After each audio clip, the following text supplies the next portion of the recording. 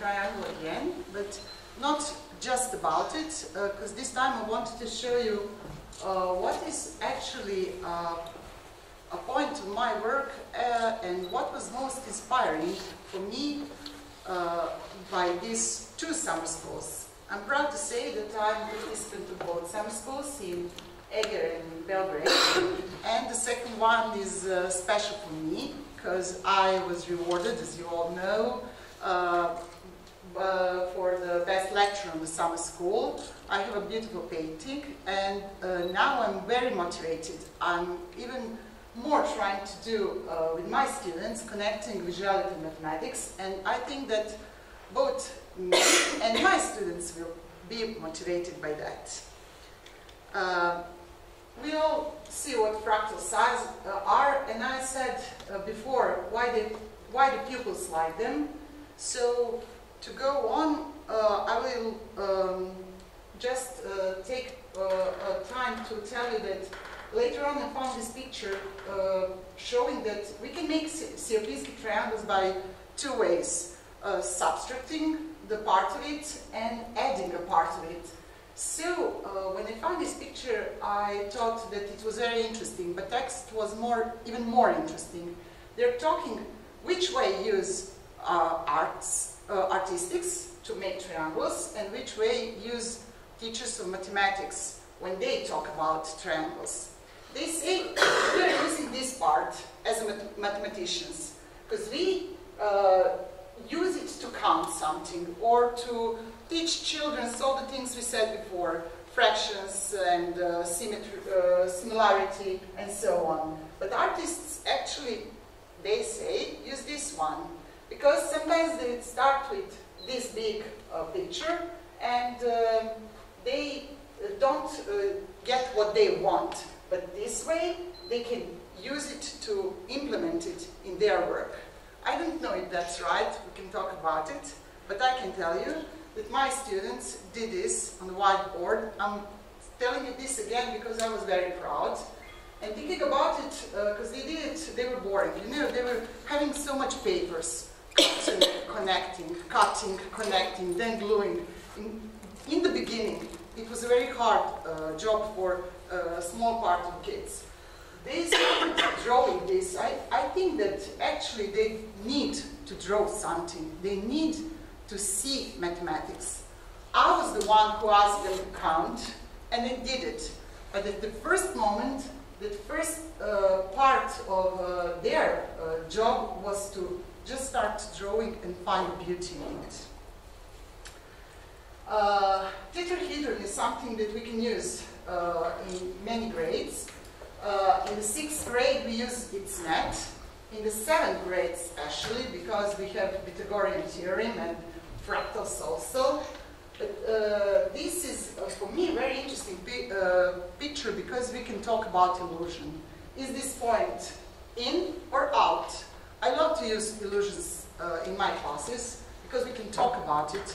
We can see its artistic side, but also uh, we can go on and do mathematics with the kids who are interested, who are involved. And they all get involved when you find an illusion, because that's the point where they are, in many cases, better than me.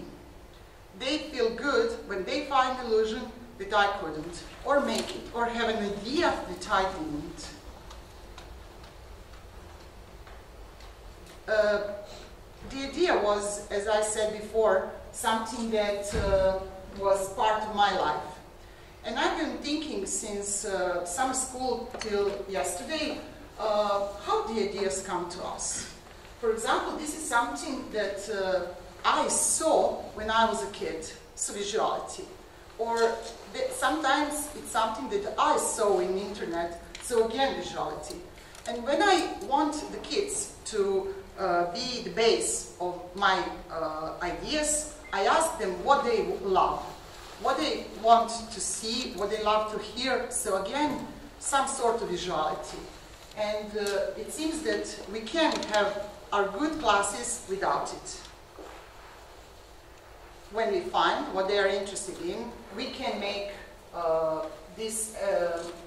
We can ask them to investigate. That is very important We really don't have a time in our classes to ask uh, children to investigate. I can give them five minutes, ten minutes, and that's all. I do the rest of the job, explaining, and then letting them uh, do the same with the tasks uh, when they go home.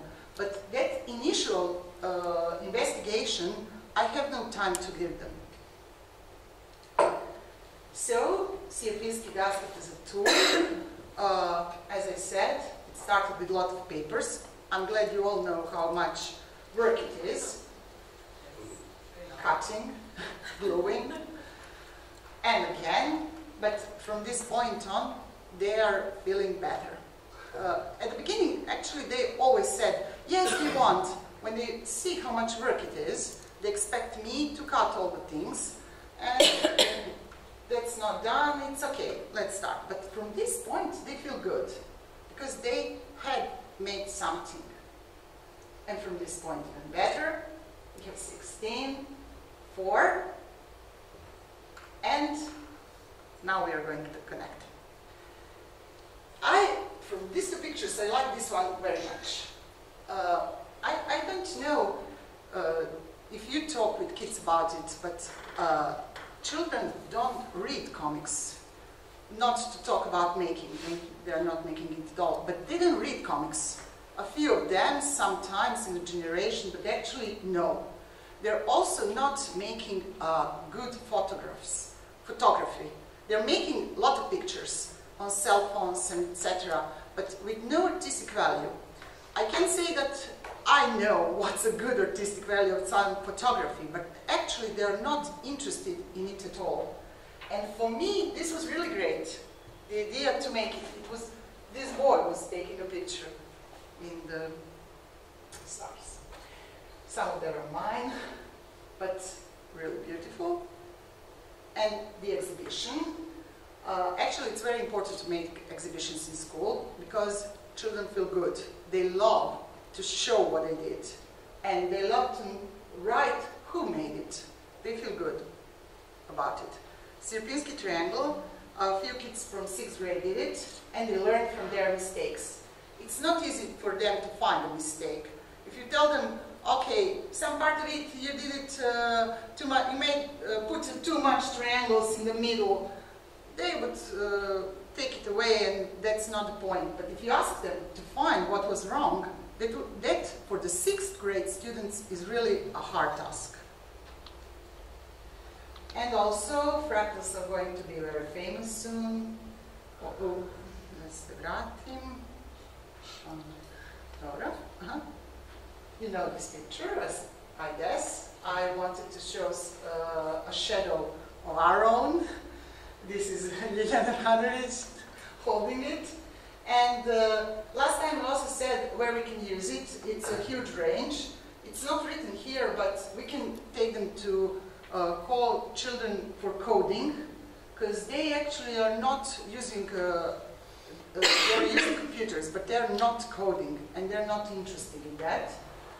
And uh, it's interesting to see that uh, shadow, is really beautiful. We can also make it to see triangle or square and to use it.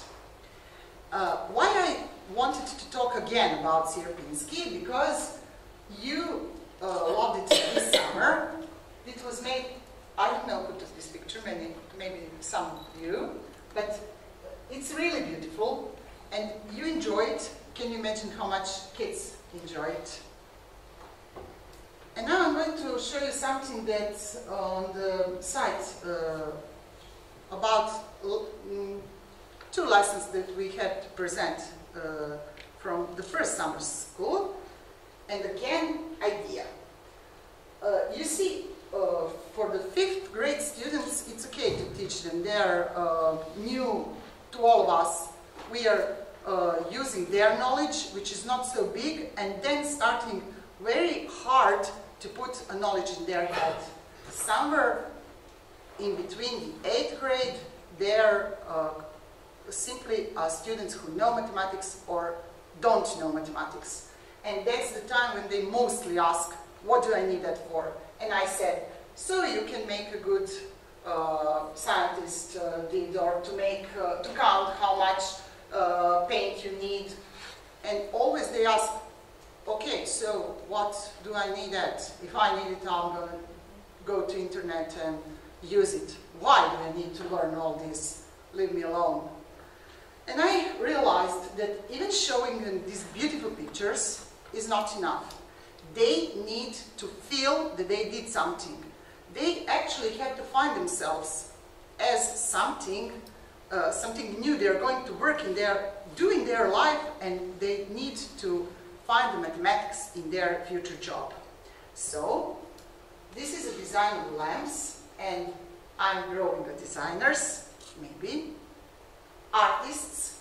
Uh, this was the, their task to um, count the cube, its volume and area, etc., and to make pop art. And this was uh, not uh, connected with mathematics at the moment because this was made for uh, mm, our uh, exhibition of Easter eggs we had in school. And one student drew this. Uh, they noticed where to find a part. They also wanted to play Picado in our class. They said, I know that it's op art, let's play Picado. I said, it's not enough. They said, yes, but I know those are circles. I can count its area. If I count its area, can we play Picado? So it's very interesting what they can use. They're still kids. I use Soma Cube. It's very interesting because it's a 3D uh, tangram, seven parts which have to be connected. They were using origami technique to make it and connect it. Also, we found these uh, boxes and connected some parts of it, so it's not very beautiful, but it's very interesting for them to recycle. And now, this is something uh, they did without me asking them. They are playing Minecraft uh, in their spare time. And they're using Minecraft to solve Soma Cube. It was very interesting for me because uh, they are actually doing mathematics out of their class. Imagine eight great kids doing mathematics in the spare time. It's very rare to see. They are going to break it now just to show that inside is not empty.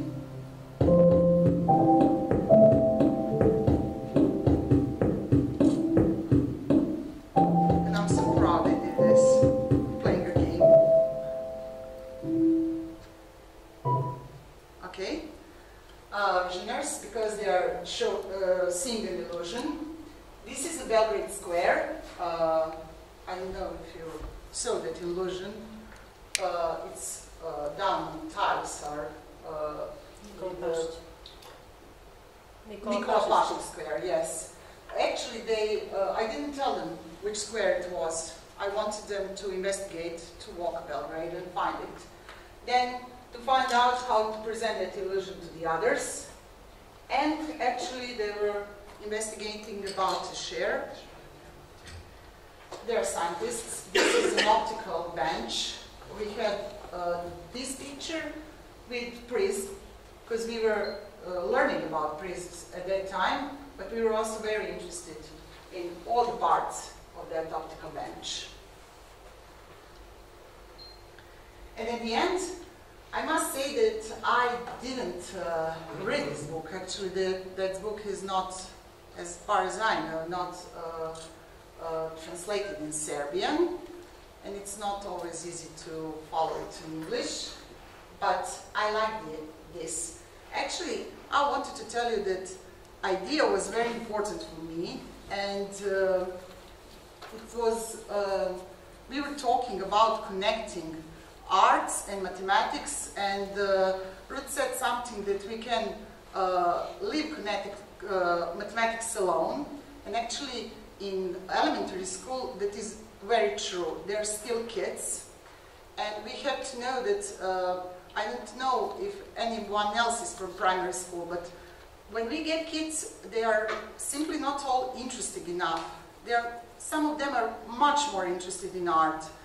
And we have really to realize that we must offer them a different ways to learn mathematics, so from elementary school, we have pushed them in secondary and say, yes, you know where are you going. Since they, they don't know, they go and after exam, they choose school and, friends and I don't know what. So we have to help them realize what they want and what they are interested in. That's all.